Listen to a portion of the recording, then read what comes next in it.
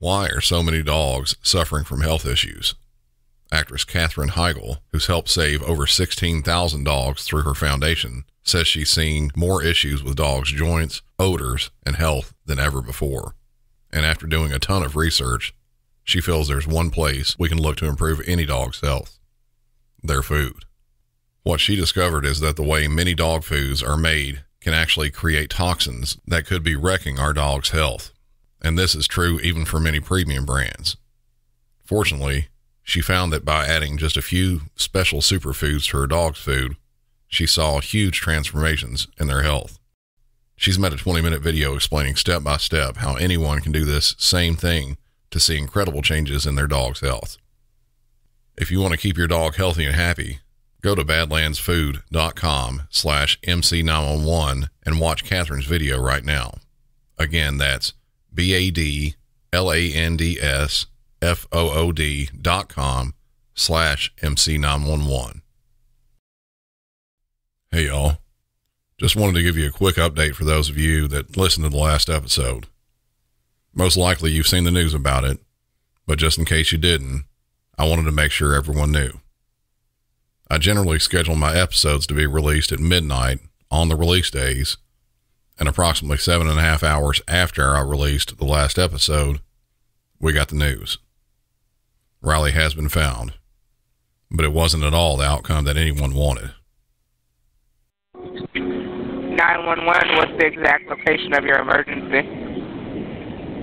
Yes, ma'am. I'm at 1740 uh, 61st Avenue North, Nashville, Tennessee. Um, I I just 61st Avenue North in the nation's office of Centennial. Yes, ma'am. Okay. And what happened? Uh, uh, my company works on the river. I have just found a uh, dead body. I believe it to be Riley. Okay. And you said you guys found a dead body? Yes, ma'am, in the river. We unload barges at this facility, it and I was like? checking around my dock. Uh, it's definitely got a person hair, black shirt, kind of like a white, muddy looking on the front. It's face Said down in the water. shirt. Yes, ma'am. It's a Caucasian. It looks like a male. Yes, ma'am.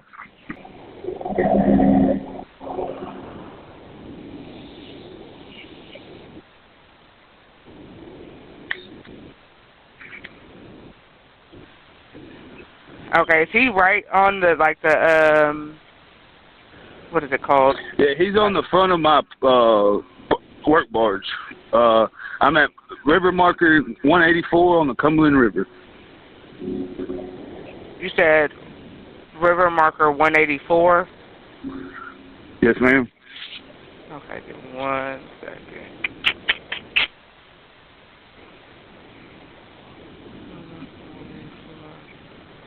And my company has requested only uh police and rescue personnel only on site.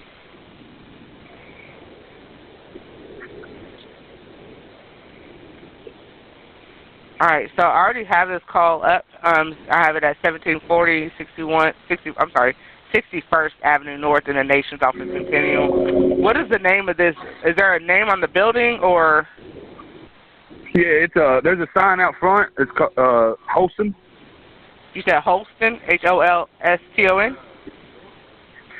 H O L C I M. Okay. Is he completely submerged, or is he right on that, like the the bed? Not the bed, but like is he partially in the water, partially out of the water? No, he's he's fully submerged. Besides his his uh, back sticking out of the water. I actually had to move a log off of his off of the head to confirm it was a body. Okay. I have this call up, and I'm gonna get somebody out there. Okay. No, all right. I'll, uh, I'll meet them up top. I'm gonna make my way up from the river here in just a few minutes. Okay. All right. I'll let you go. All right. Thank you. Uh huh.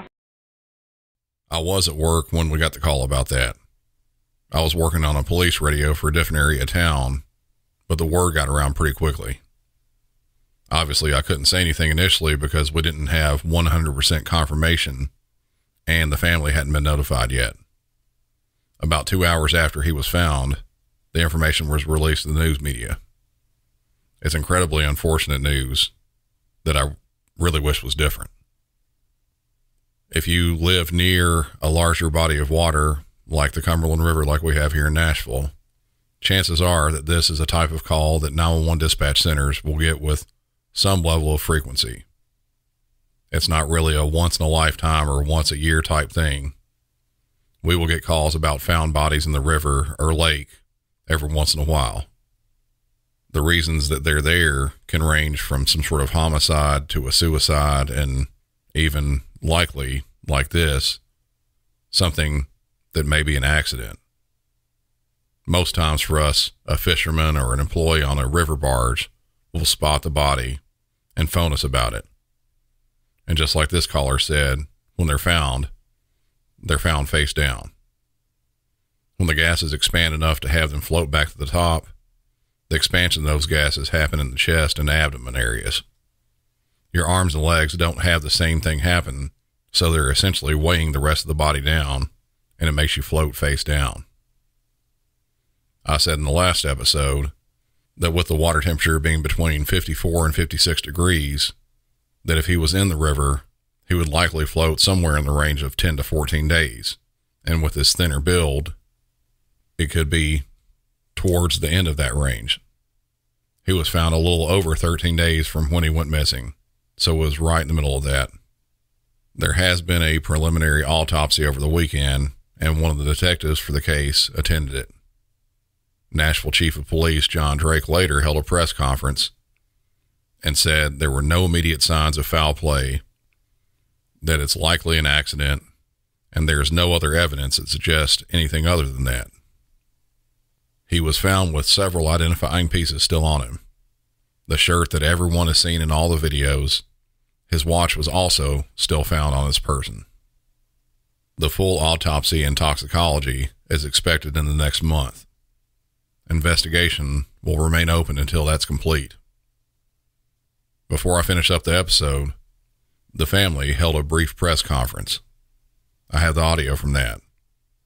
It starts out with the public information officer from Metro Nashville Police, then goes to Riley's father, his stepfather, and finally his mother.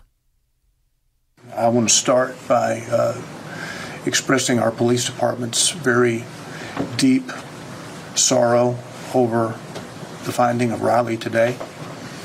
And we are with his parents. I think they know that, and we'll continue to be with them in the days and weeks ahead in our thoughts and prayers. I want to start this afternoon by introducing Riley's father, Ryan Gilbert. Uh, thank you all for being here, and those of you that help us keep Riley's face in front of the cameras. Um, you've helped us get some closure here and let us take our boy home. Um, I got a lot of people to thank, and I'm sure I'll forget somebody. Uh, you won't be forgotten. I'll, I'll remember you. The whole family will remember you. But uh, uh, I want to first thank the uh, NMPD for their efforts. They've had a lot of sleepless nights on this case as well. Can't give them enough thanks. Uh, really appreciate the work they've done. Uh, the United Cajun Navy has come in to assist them. Uh, they've they've done a lot of lot of work on the water and land for us. Uh, came in and gave structure to this investigation on our side of it, and helped keep things lined out. Uh, Dave Flag here with the United Cajun Navy. They've been a great asset, great asset to us. Um, the individuals in the area that have come in contact with us that have helped us uh, with numerous things, gathering supplies and uh, taking care of stuff like that, putting up flyers and whatnot.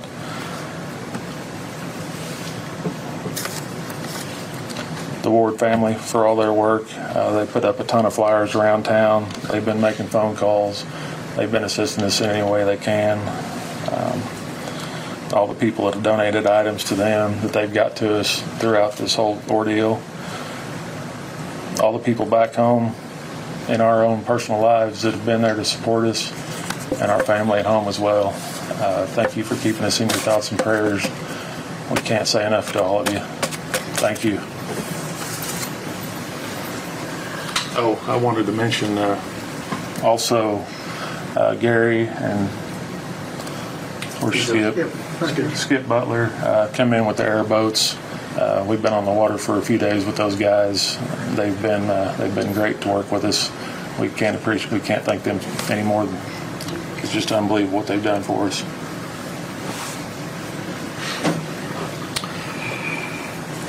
Most of you are familiar with seeing my face by now.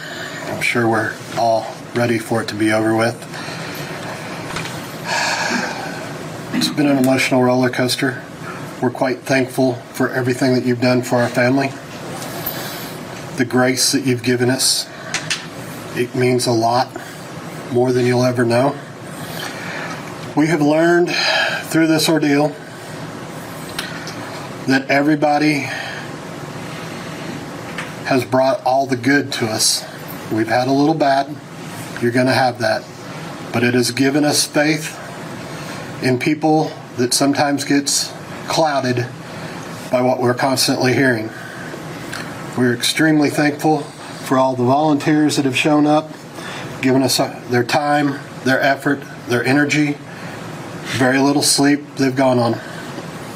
Our family, we can't thank our family enough for all the support that they've provided us, for all the, you know, time spent, the love, the energy.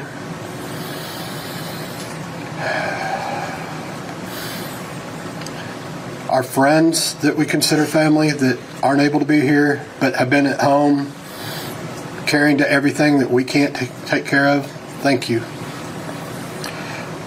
To the people of Nashville, I can't thank you enough for the support, the love, the encouragement that you've shown myself and my wife, and Ryan and Millie.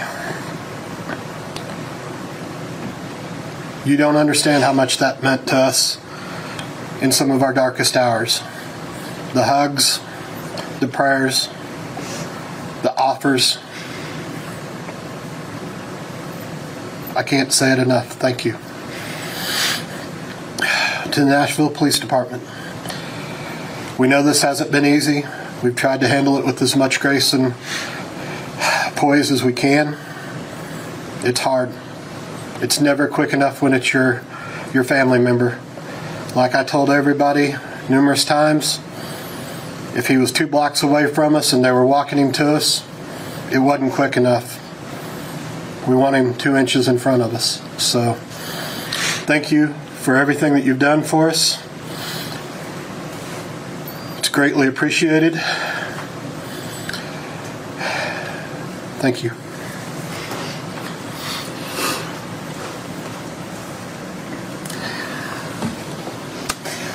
Just want to reiterate um, how thankful we are for everyone and how much we appreciate everyone's support and love and prayers because we feel them.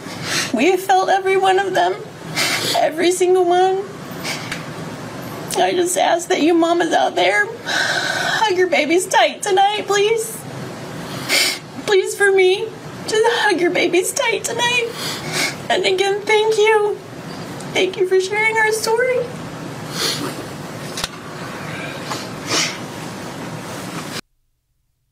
That's going to do it for this one. Before I go, I wanted to mention just briefly that while Riley has been found, before he went missing, there was another missing person in a town just north of Nashville, a town called Hendersonville. His name is Sebastian Rogers. He's 15 years old and has autism. His mother went to wake him up for school one morning and found his room empty. He is believed to have left the house with just the clothes he had on, no shoes, and may have had a flashlight with him. He's been missing since February 26, and despite efforts from police using search dogs, drones, helicopters, and a ton of personnel on foot, he still hasn't been found. I highly urge everyone to do a Google search for Sebastian Rogers and familiarize yourself with his case as well as his photo. So if you see anyone looking like him, you can phone the police. I'm sure the family will appreciate any extra sets of eyes looking for him, and I'm hoping he is found sooner than later. Back to Riley. I think I echo pretty much everyone when I say this isn't the way we wanted this to turn out. It's incredibly sad. What his mother said, she's absolutely right. Hug your babies tight tonight.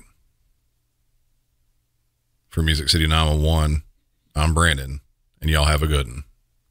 Say goodbye to your credit card rewards. Greedy corporate mega stores, led by Walmart and Target, are pushing for a law in Congress to take away your hard earned cash back and travel points to line their pockets. The Durbin Marshall credit card bill would enact harmful credit card routing mandates that would end credit card rewards as we know it. If you love your credit card rewards, tell your lawmakers hands off my rewards. Tell them to oppose the Durbin Marshall credit card bill.